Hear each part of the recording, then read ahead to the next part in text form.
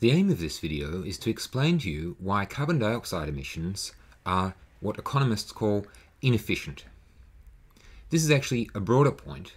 Most pollution is inefficient uh, unless further steps are taken. But for our purposes, let's focus on the case of carbon dioxide.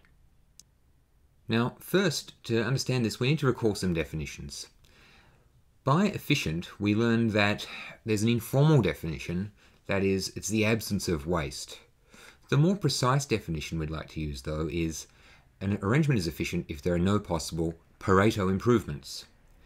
And conversely, an arrangement is inefficient if there is a possible Pareto improvement. What, you might ask, is a Pareto improvement? Well, it's simply this idea that you achieve a Pareto improvement if you make one person or more better off, while at the same time making nobody worse off. So there's a sense in which a Pareto improvement is an unqualified good.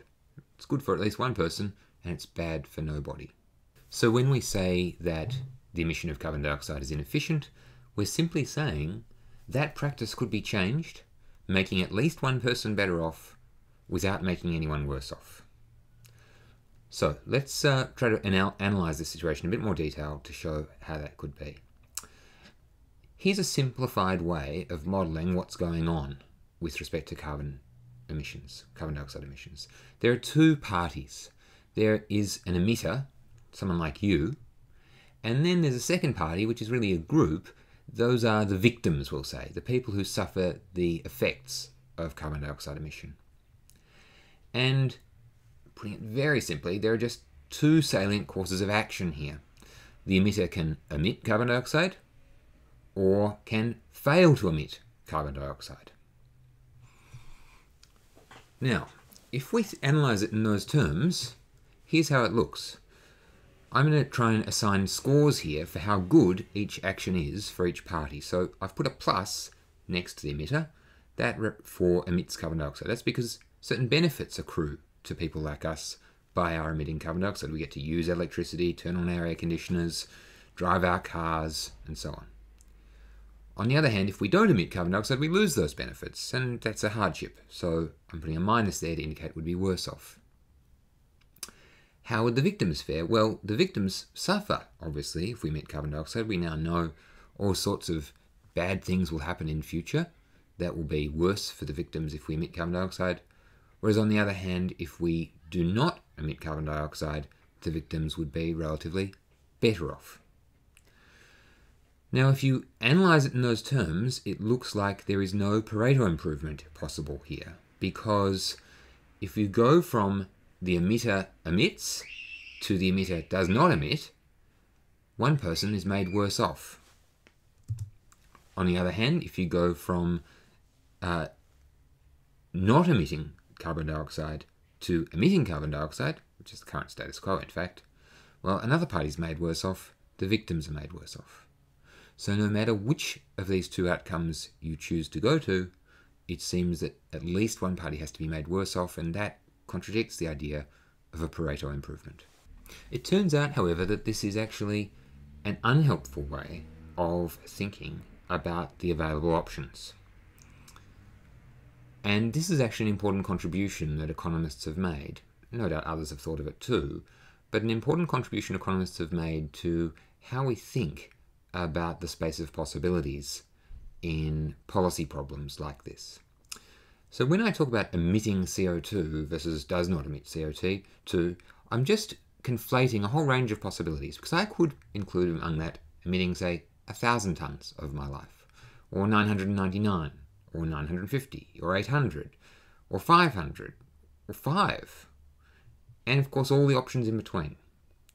Really, what we need to think about when we're trying to find a possible Pareto improvement is a, among all of those various options, and there are infinitely many of them, are any of those going to be an improvement for some people without worsening the situation of others?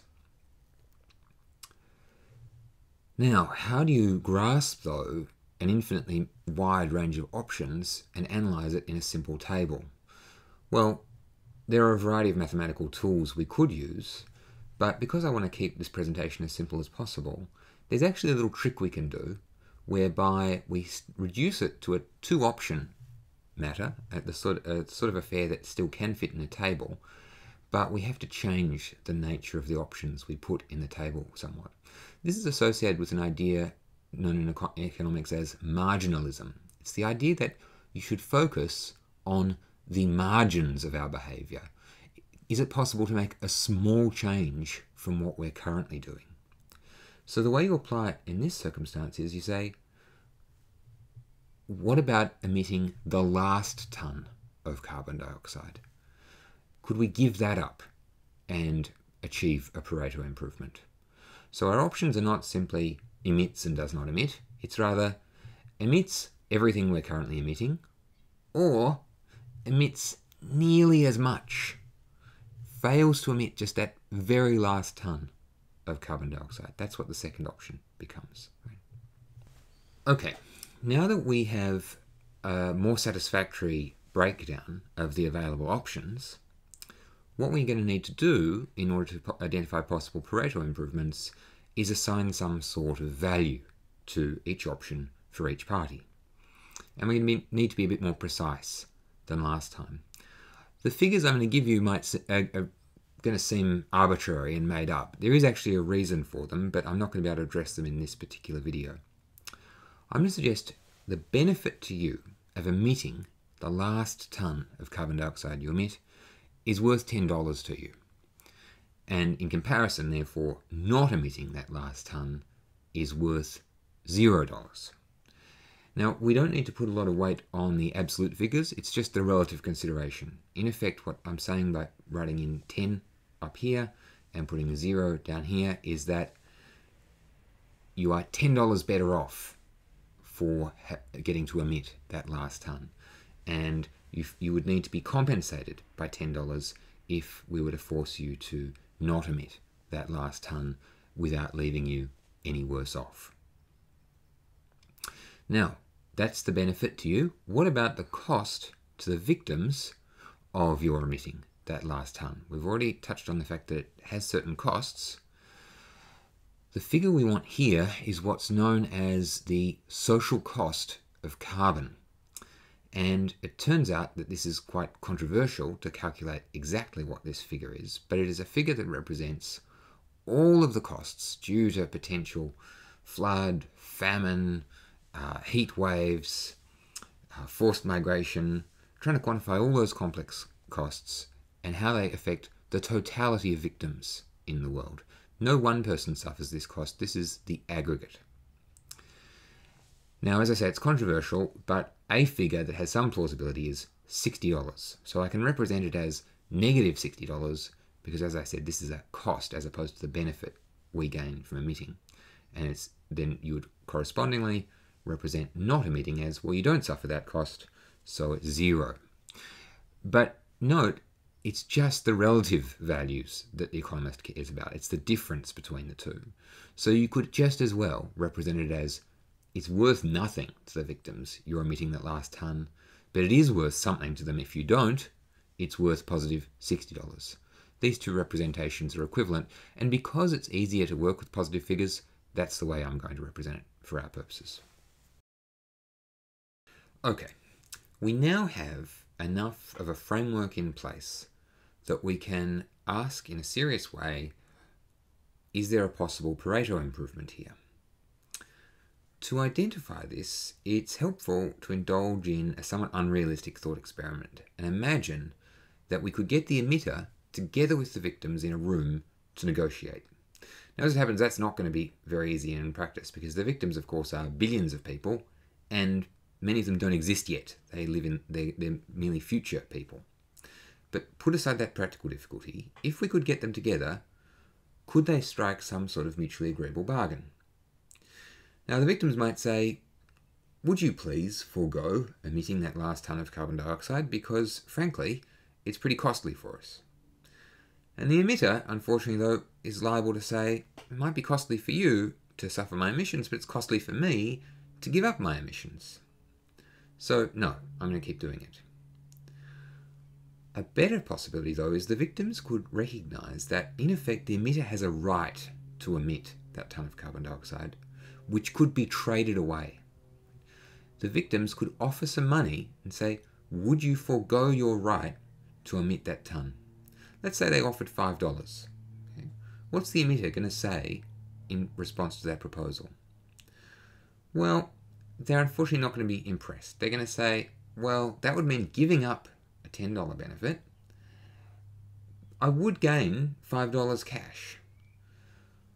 But the net effect of that is I'm going to go from a $10 benefit to a combined amount of benefits worth to me $5, and that's not a good deal. I'm not going to accept it. I'd rather stick where I am.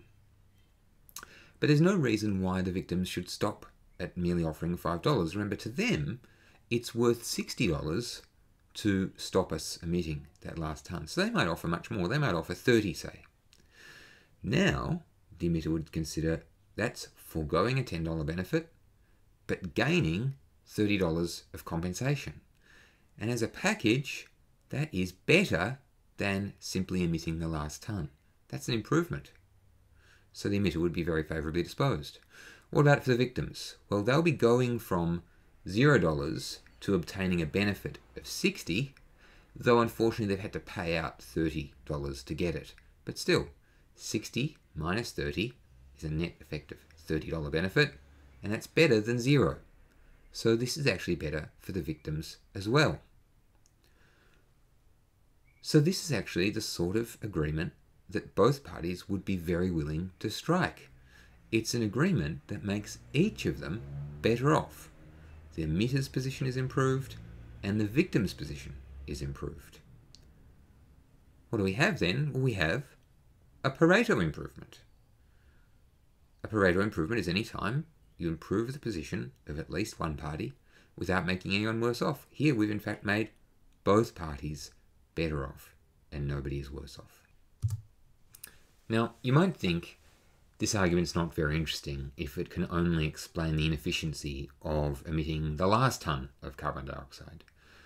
But you can simply reiterate the same argument. Having shown that it would be more efficient to not emit the last ton, you can ask, what about not emitting the second last ton? Is that how much benefit does the emitter get from that?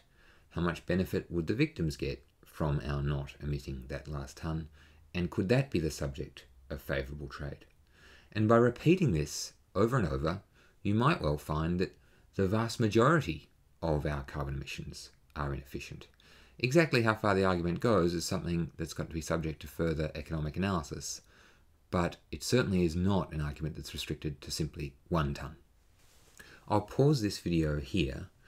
There's more to come though, because we have one big issue. How, in reality, can we achieve anything like a trade between these two parties, given that they do not exist at the same time.